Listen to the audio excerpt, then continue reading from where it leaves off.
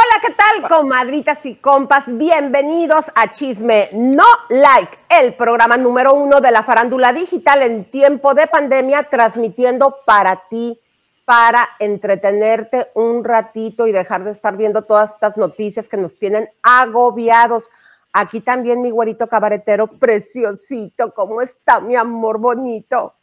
Bien, hoy estoy de Animal Print, ya que los Tiger, los tigres están de moda ahora, eh, así que acá estamos para arrancar un programa fuerte hoy, con mucho contenido de farándula, también todo lo que está pasando en el mundo. ¿Cómo están ustedes que están en las casas?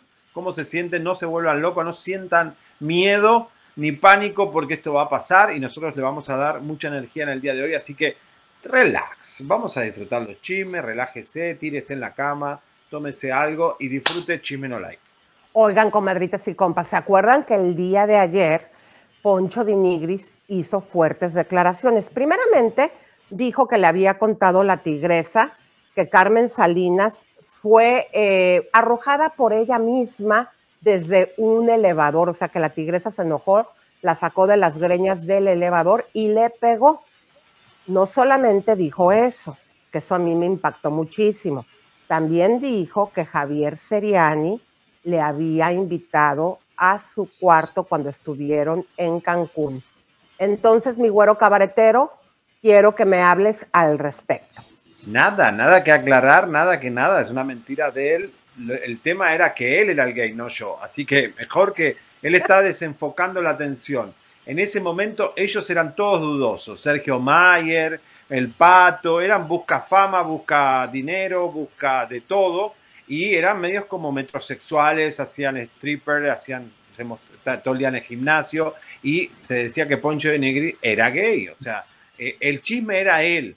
Entonces nosotros lo invitamos a la radio, porque yo estaba con mis productores, con mis conductores, y él, él vino a Cancún y eh, le tuvimos que pagar ahí el hospedaje el fin de semana, así que ahí estuvo él. Después ya él se metió como a buscar fama con la tigresa eh, y recuerden que él ganó mucha prensa con todo esto.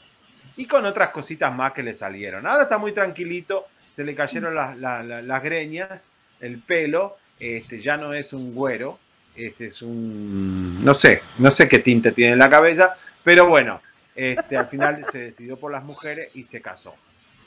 Híjole, eh, mi querido güerito, estas son fuertes declaraciones. No, pero es verdad, es verdad, eso todo el mundo lo sabe y Poncho siempre fue de estos chiquitos que son eh, Latin Lovers, que bueno, ahí están buscando en Televisa, en Azteca, en todo en fama, un montón de cosas. By the way, hay 12 contagiados en Televisa de los 5.000 eh, empleados que tiene, eh, así que, pero igual es un caos. Después vamos a hablar porque hay un, hay un negativo, y viste que siempre hay un positivo enfermo. Hoy hay, tenemos un negativo que vamos a contar quién se recuperó del coronavirus. Oye, mi querido güerito, pero fíjate que Poncho de Nigris, este, yo dudo lo que estás diciendo, que, sea gay, él nos dijo bien no, claramente. No, dudo que era como...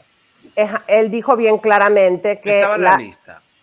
que la tigresa le tiró la onda y él para poder salir del paso y no tener que tener una relación con ella, le dijo que le gustaban los hombres y ella se molestó.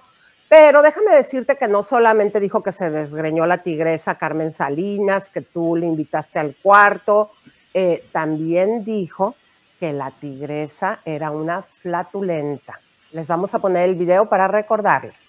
¿Sí es cierto que anduviste con Irma Serrano? O no, no, no. o sea, sí salí con ella tres veces, fuimos a Acapulco y fuimos a varios lugares, restaurantes así. Iba manejando yo, íbamos a Acapulco, lo subieron al clima y como que se empezó a venir este, el aroma así. ¿De qué?